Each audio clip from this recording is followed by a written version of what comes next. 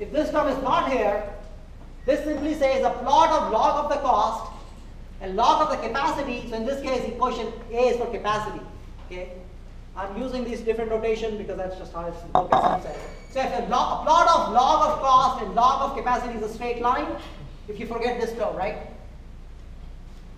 Now, as I told you, if a, it's never going to be linear over a very big range, so either you can say, okay, you're going to keep changing K1 and K2 depending upon the capacity, or you say, you know what, I'm just going to try quadratic. So the book and the data is available in literature actually is used through fitting a quadratic. So you have three parameters, K1, K2, and K3. So any type of equipment you want, you can find out K1, K2, K3 for that, either in Appendix A in the book, and certainly if you're working in industry, the industry will have a database that you can use. Okay, so that's how you use to figure out the cost of the equipment at base condition. So you already know the capacity, you figure out K1, K2, and K3 from the table. Really, it's quite straightforward. Any questions? These are some of the tables. I kind of copied the tables. Uh, yeah, there's really not much for me to say, except you have different equipment type. Within this equipment type, there are different options. And then you have K1, K2, K3 for those. And then, of course, you have to make sure that you use the correct units. You have to use the capacity in the correct units. And then there are also some ranges. If, if your data is outside this range, then of course you can't use that correlation. But sometimes you have no choice. Your data is outside the correlation and you don't have any other correlation. The best you can do then is to reduce the correlation. But you should just be careful with these correlations because you can't extrapolate them. There's some more data. All right, any questions so far? So by now everybody understands how to calculate the cost of the equipment at base conditions, CP naught? How? How do you do that? Look at the appendix. What do you look for? Okay. K1, K2, K3. So you need to know what type of equipment you're dealing with. You look at that type of that name of the equipment, but then more details because there are many types of heat exchanger. So if you first go to heat exchanger, then you see what type yours is, and you look at K1, K2, K3, you already know the capacity, apply that equation or the formula actually, and you get your answer for cost. CP naught. Right, so pretty clear? All right. So now, of course, what we really want is not, so we already know CP naught. But we don't really just want CP naught. What do you want? You want the bare module cost, right? Why do you want the bare module cost and not just CP naught? Because it's a total cost. Because that's the real expenditure, right? You want to figure out, we're trying to cost the plant. You're trying to figure out how much money do you have to spend. Like equipment just sitting in your garage is not going to do you any good, right? You want the plant operational. So you want to, of course, figure out the bare module cost. And the way to figure out the bare module cost is using this equation where Cp naught. So we already talked about that CB, CBM is proportional to Cp naught. We already said that earlier, right? In the previous slide, I had a bunch of alpha values. Here it has been more formalized that this proportionality constant actually has four is, has this form. B1 plus B2 FMFP. The B1 and B2 again are constants for the equipment. So again, you can find that from the tables. Fm is what is called material factor. Fp is called what is called pressure factor. Okay. So at base conditions, which means room temperature, uh, uh, standard pressure, and the material of construction is carbon steel. Fm is one and Fp is one. So if Fm is one, Fp is one. CBM is simply Cp naught times B1 plus B2. So what do you think is the rough value of B1 plus B2? We already talked about that, right? I just think I'm just asking the same question in a slightly different way. So we know B1 and B2 towards plus B2 will be roughly around 3 to 4. Fm and Fp could be very significantly under base conditions they're going to be 1. They could be considerably higher depending upon uh, what sort of conditions you're looking at. If you're working at very high temperature, Fm could be high. Look at that.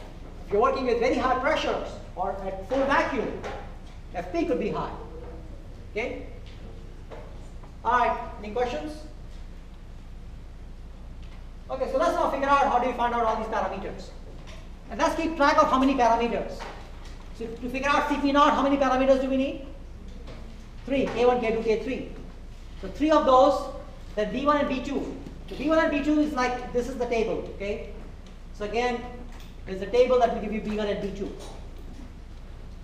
that's 3 plus 2, 5. So 5, and then we still have to figure out FM and FP. Alright, so now let's figure out how do we get FM and FP. So this is, this is uh, a graph of how to get FP for pressure vessels.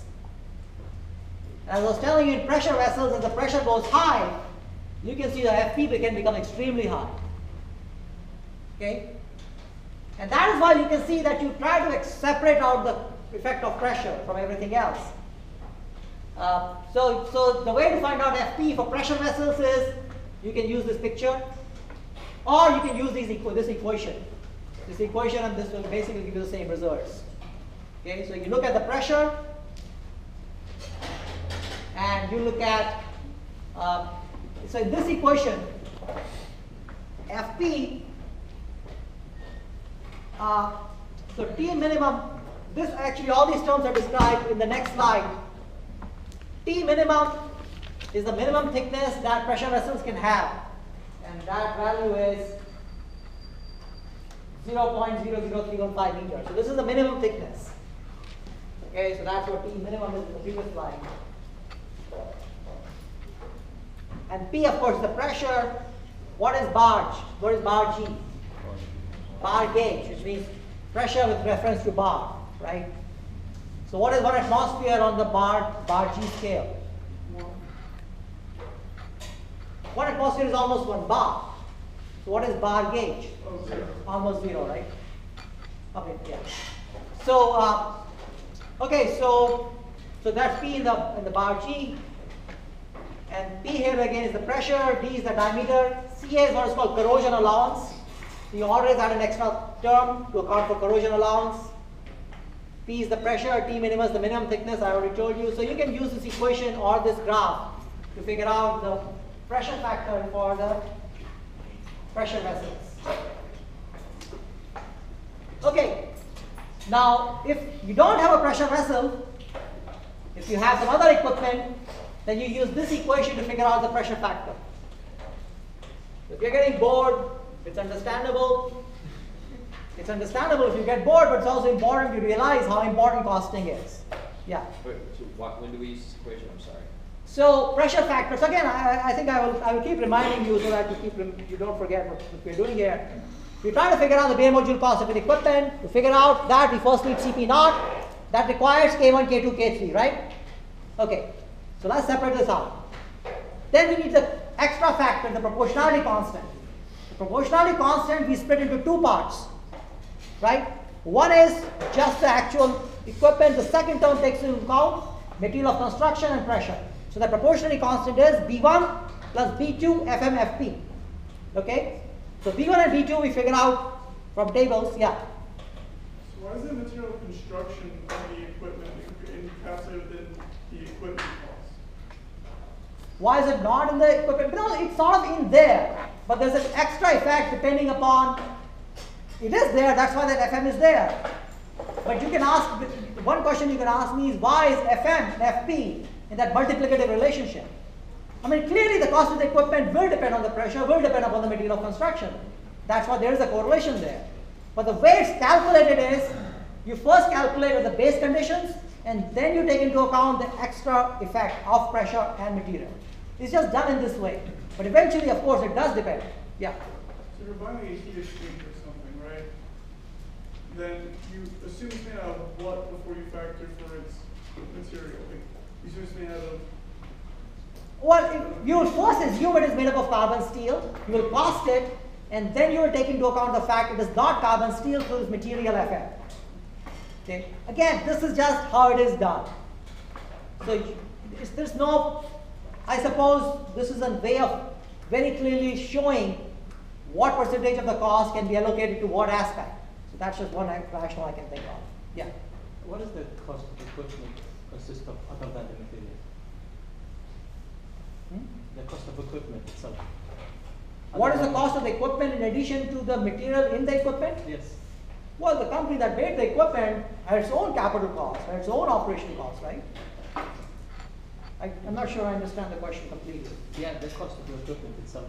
I mean. When somebody is selling you the equipment, Yes, so that person who's selling his equipment is running his own company. So he has his own capital cost that was incurred to set up the plant to make the equipment. His own labor costs, his own operational costs. So all those are going in and he's doing some sort of a costing analysis to figure out at what cost he should sell the equipment. But the material will be a very small fraction of that. Engineering costs, right? It's just like saying when you buy medicine, what is the actual cost of the chemical when you buy a hundred dollar medicine? Like the EpiPen, we're talking about EpiPen, right? EpiPen is selling for I don't know three hundred, six hundred dollars. What is the actual cost of that? About a dollar. Uh, sorry, About a dollar. it's a little bit more than that. It's less than ten dollars. So same thing with equipment. Equipment, just the material. If you look, just look at the iron, if you're going to sell this to a what is that called when you throw something away and you just scrap it, sell it, scrap it, you get a fraction of the cost, right? So the material, just just the material is really the most important cost. All right, so so okay, so let's go back. K1, K2, K3, and I'm repeating this many many times because I understand that this is something, for lack of a word, not very exciting. So I have to repeat myself many times for it to go into your brains. But remember this; it's important. So sometimes you have to do stuff that is not very exciting. Okay, so to figure out CP, what do we need? K1, K2, K3. That's just the cost of the equipment at base conditions. Then we have correction factor or the, and that is how do we how do we express that? P1 plus P2 FMFP. And we are doing this to very clearly point out what is the effect of pressure, what is the effect of material of construction. Okay, so that means we have to first figure out P1 and P2. And we figured that on tables, we're still left with FMFP. FP for pressure vessels, how do we get that? From the picture or the equation that is below the picture. For other equipments, you use this equation, log of Fp is C1 plus C2 log P plus C3 log P squared. Okay? So for pressure factor, you have three more constants. Okay? So again, you look at the table, you look at these, and you, you figure it out. Now for some equipment, Fp is always 1. Yeah. So, I'm sorry, what do you mean by other equipment? So that's where you just have to look at the list. Okay. You go to the table, see what lists. If the, if the equipment is there, just use it. If not, you have to figure out why is it not there, look for other tables. Like for instance, I'm going to give you as much example as possible. So you can see that here, some equipments are unaffected by pressure, like the trays in a distillation column. You will not find any FP for trays because what, irrespective of the pressure at which the distillation column is operating, the pressure difference across the plates is minuscule. So the high pressure doesn't affect anything. And therefore, the FP for the actual plates in a distillation column is really just one. Similarly, other equipment such as compressors do not have pressure corrections because for some equipment it's just not available, so you don't have that. But anyway, so as I said, you try to look around, and that's really what costing eventually boils down to. A lot of it is just looking around to see if where you can find the data. Okay? Nobody's going to give you all the data put together into one place. The book does try to, tries to do a good job. So okay, so now let's go back. K1, K2, K3 for CP, then B1, B2. Then to get FP, you will need three more constants, C1, C2, C3. Okay? Alright, so here's, here's some examples. Again, different equipment type. You have C1, C2, and C3. Now if C1, C2, C3 are all zeros, what does it mean for FP? One. FP is 1, right? Which basically is really what I also said in the previous uh, compressors. We don't have that, but if you remember in the previous slide, I said it because there is no data, not because there will be no effect of pressure, there is just no data. So you have no choice but to just assume that to be basically 1. Okay, all right. Okay, so now what's the last thing left? Material of construction, right? Because CP, CP naught, we get it from K1, K2, K3, then B1 and B2. So B1 plus B2, FMFP is the correction factor or the extra factor. B1 and B2 we get from tables. FP we basically get from that equation which involves C1, C2, C3. Okay? Does everybody's with me so far? Okay. Again, nothing conceptual here, but it's important in your, your mind to have an understanding of what each term is doing and how where we're going to get all this information from. Okay? So these are not really fundamental equations, but nonetheless it's important for you to actually just know it in your mind of how costing is done. Because that's the only way to really have some understanding of it or some appreciation for it. So material of construction could be very, very critical. So here, here is a bunch of chemicals that are listed, and then the most common materials that are uh, that are available in chemical industry. And A means acceptable. So if you look at aqua regia, you can see nothing is acceptable till there. The titanium and TFE. TFE is some sort of a polymer, I think. Uh, that tetrafluoroethylene, yeah. So that's a, that's a very good polymer for a bunch of these things. Uh, if you look at another interesting thing is nitric acid. So let's say there's a nitric acid or even hydrofluoric acid. Not, a lot of things are not acceptable. So you have to basically look at the chemicals that you're dealing with and figure out then what materials you can use. You want to use carbon steel as much as possible, except you can see for a lot of chemicals carbon steel is not acceptable because carbon steel is typically the cheapest one. And so if there was carbon steel was used, then your FM will be 1. If carbon steel is not used, you have to figure out FM for whatever material you're looking at. Now the correction factor FM will not depend just on the material. What else will it depend on? It also depend on the equipment. Okay, so basically as always, you have some way of uh, figuring out those parameters. So everything else we already talked about how to get it. The material factors are are uh, given again in Appendix A of the book in tables A3 to A6, A6 and in figures A18, A19. So you can see I've, I've tried to give you all the information for costing right on these slides. So hopefully it's not going to be too difficult. So this is how you get the material factors. You get the equipment description. You get the material of construction. And then based on that, you find out identification number. Okay? Once you know your identification number, you go to this graph, I suppose, and then you read your identification number and you read your material factor. Just a way of presenting data. Okay? And as some of you are saying, now this all is in the computer, so you can actually directly use it on the computer. All of you with the book come, came to CD, which actually has a software called CapCost. Okay, so I'm going to talk about that a little bit later. Anyway, that's how you get your. So this is a summary of everything we have talked about so far. To figure out the bare module cost, you first need CP naught. CP naught is the cost of the equipment. What does the zero mean?